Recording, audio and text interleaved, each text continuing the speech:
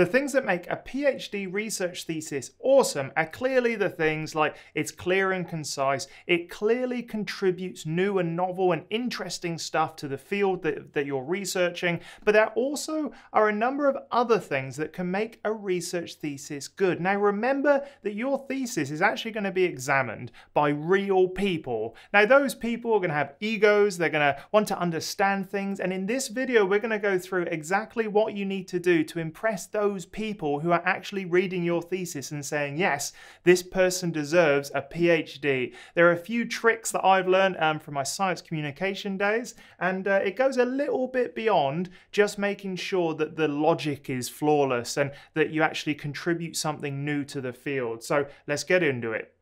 This video is brought to you by my newsletter at andrewstapleton.com.au forward slash newsletter. Go sign up and get all of the information that I do not publish anywhere else. And on the first day when you sign up, you'll be getting a daily planner to make sure that you are moving forward with your PhD or your research. Um, and also, go check out academiainsider.com because there is my new website about helping people overcome the loneliness and the stressfulness of a PhD, which includes a members only community. And that community is growing quickly at the moment. And there's tons of awesome people helping each other become better academics. Go check it out.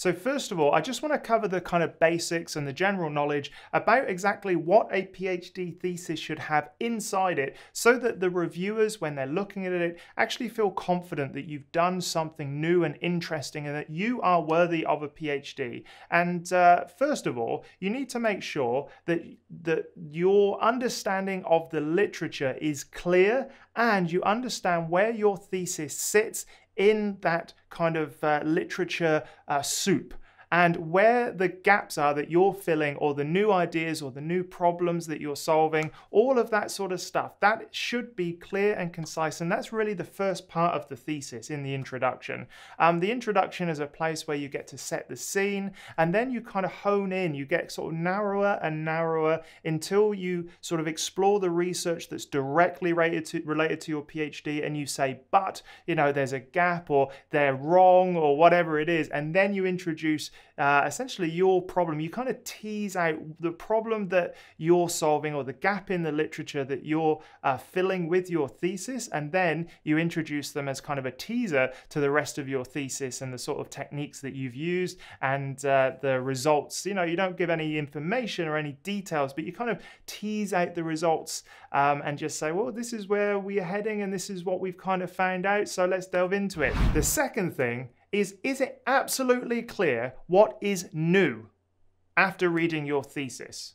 There are so many sort of results and discussions and things that we have during our PhD that really you have to boil your thesis down to one or two major issues that your thesis or your PhD is solving. And uh, that can be relatively difficult because, you know, throughout the course of your PhD, you're trialing this area and you're going over here and you're trialing, you know, new techniques and maybe that doesn't work and you come back, but it informs something else. So it's not really like a linear relationship if you're writing a PhD thesis, ideally, you know, in an ideal world, it would be like chronological. It would be like, I started here, time passed, and then I got here, done. But that's not how it really works. You kind of like explore and, and pull things in from different areas. And it can be a little bit confusing when you start reading a PhD thesis about exactly what this person has found is new and interesting, especially uh, if it's drawing on all of these different uh, like subject areas.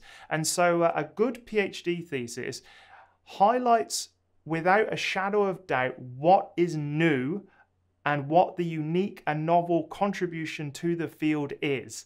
The third thing that is an absolute foundation for a good PhD thesis is, is the logic flawless? So can you go from sort of results to discussion to conclusion? Is there a obvious train of thought that gets through there without sort of uh, having to make any leaps of faith or you know uh, jump over any obvious barriers to, to get to your conclusions so one thing i like to do is i like to give my phd papers and my uh, thesis i you know i give it to someone who's clever but not in my field or a little bit outside of my field and just ask them, does this make sense? Like I'm saying, these are the results. This is how I've kind of interpreted them, and therefore this is the conclusion I can make based on those results. And if that logic isn't clear, if you can't do that for each problem you're solving or each bit of data that you're presenting, you're just going to annoy the examiner and they're going to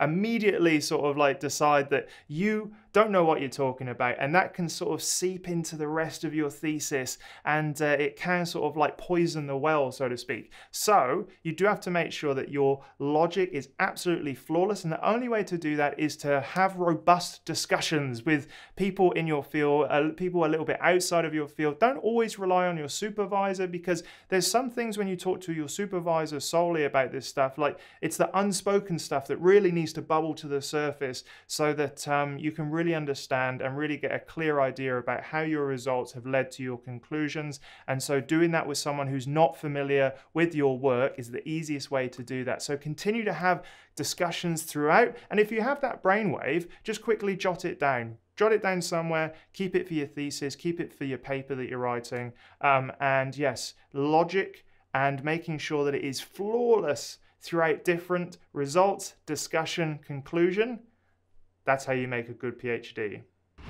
So those three, I think, really are the absolute foundations of writing a good PhD thesis. Now, the issue is, is that uh, there are other aspects of your PhD, because it's being read by a person, it can easily distract them from your awesomeness, from the awesome things that you're presenting. And uh, as a human, if it's not easy to follow, that kind of gets into your uh, your kind of ego and it's like hang on why don't i understand this? And then instead of saying well maybe it's not something i understand they're like clearly there's something wrong with this thesis. So there has to be sort of a good um, level of uh, them being able to understand exactly what you mean. And I always feel like formatting is completely underused in PhD theses. Like use bullet points, use different boxes that kind of highlight the key thing, you know, like in summary or like, you know, breakout boxes, which allow you to actually just pinpoint and highlight the exact thing that you're trying to say from the discussion or from the paragraph above. Um, those sort of uh, formatting tools can really help people go, oh, okay, that's exactly exactly what they mean, I'll move on. And it's just about making them feel comfortable as they navigate through your PhD. So there's no doubt that organization of um, a PhD makes a huge difference in someone how someone feels about the journey they take while reading it. You know, some of these theses, you know, this one's about 230 pages, I think. Some of them um, can, you know, be like 500 pages. So making sure that someone can get all the way through this uh, is very important, and you want them to feel comfortable along the way. You want them to go like, okay, I get it. And if uh, you're reading through it or someone's reading through it and they just get a little bit frustrated at some point, that's a point where you really should hone in and go, okay, what is it that's frustrating you about this? What don't you understand? How can I make it clearer? Because ultimately, it's about this person going, ah, I understand exactly what's going on here and I'm impressed by this thesis. Have a PhD. Clear writing is another really important component of making someone just feel comfortable with your thesis. Now, as a researcher, you are always kind of like tackling tough, intricated, interwoven ideas and terminologies, and it can get quite convoluted. And when you're trying to talk about something, it can be easy to kind of use run on sentences. It can be easy to um, kind of overcomplicate the matter by pulling in things that you think are related, but being absolutely clear with each sentence and each paragraph um, is very important for making the person who's reading your thesis feel as if it's worthy of a PhD. So one thing I like to do is, uh, as part of the editing process of a thesis or a paper, um, is I in the in the margins of each paragraph, I write down exactly what the purpose of that paragraph is. And if I can't clearly work out what a sentence or the purpose of a paragraph is, I either delete it or I rework it until I'm absolutely sure that, okay, well, this paragraph talks about this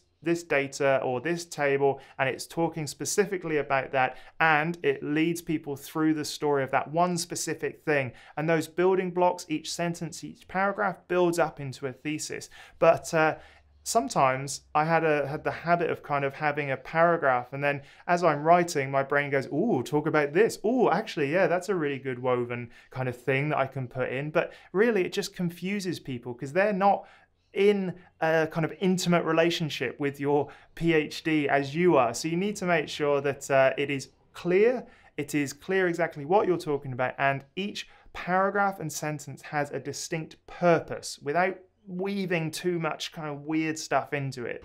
I wrote my thesis in LaTeX, and uh, at the time I couldn't really work out a way of properly spell checking all of the different chapters. And so what happened was one of my reviewers of my thesis said that uh, it was a shame that my thesis was full of distracting grammatical errors. And I completely understand that, and I'm sorry to uh, that reviewer. But um, you know, most mostly now there are you know like software tools like um, Grammarly, and also there's ProWriter and other other sort of like uh, tools that can help you get around those really just basic uh, errors and grammatical mistakes. But um, that is one thing that's very important to making people feel as if you know what you're talking about. And I think I undermined my PhD a little bit. And he said that it was on every single page. And I think that's a little bit of uh, an exaggeration. But uh, nonetheless, it was so annoying to him that he actually put it in the uh, comment section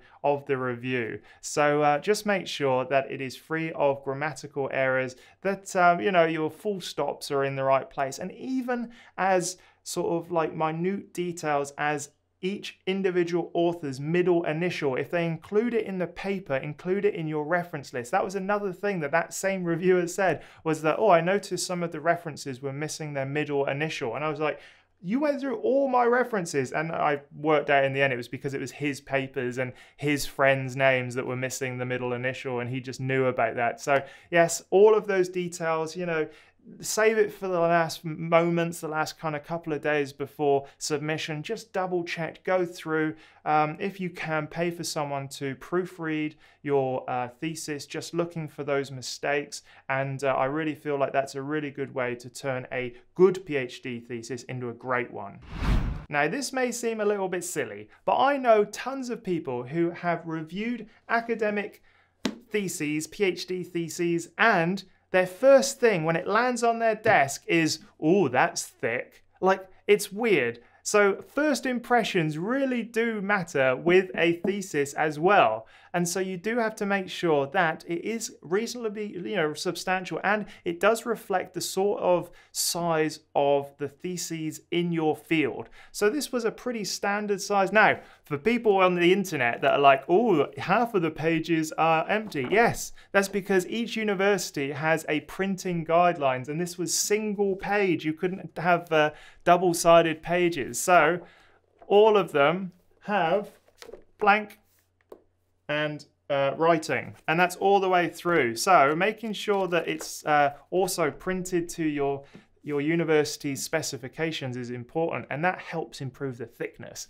And so when someone receives this in the post, you want them to get it and go, oh, yes, this, like, immediately they're like, this feels like a thesis. It's so strange, but I know reviewers who have done that. And uh, when they've received light uh, theses that aren't very thick and don't have many pages. Sometimes they even say to me, oh, well, it wasn't very thick. It doesn't seem very substantial. And they immediately start reviewing it with that headspace. And then immediately you have to kind of like show them that you can get a thesis um, past them because you have to put in loads and loads of effort uh, to make it sound amazing. So thickness, it's weird, does go a long way to uh, allowing the first impressions to help smooth the way for a pass. So there we have it. There are all of the things that make a PhD thesis good and great. Let me know in the comments what you would add to that. And go check out academiainsider.com, sign up to the newsletter at andrewstapleton.com.au forward slash newsletter, and I shall see you in the next video.